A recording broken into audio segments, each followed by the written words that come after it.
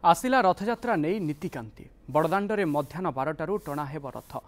ତେବେ ଭୋର ତିନିଟାରେ ମଙ୍ଗଳ ଆଳତୀ ହେବ ତିନିଟା ପନ୍ଦରରେ ମଇଲମ ତିନିଟା ତିରିଶରେ ତଡ଼ପ ଲାଗି ଚାରିଟାରେ ରୋଷ ହୋମ ଚାରିଟା ତିରିଶରେ ଅବକାଶ ନୀତି ଚାରିଟା ପଇଁଚାଳିଶରେ ସୂର୍ଯ୍ୟ ପୂଜା ପାଞ୍ଚଟାରେ ଦ୍ୱାରପାଳ ପୂଜା ପାଞ୍ଚଟା ତିରିଶରୁ ଛଅଟା ପଇଁଚାଳିଶ ପର୍ଯ୍ୟନ୍ତ ଗୋପାଳ ବଲ୍ଲଭ ଓ ସକାଳ ଧୂପ।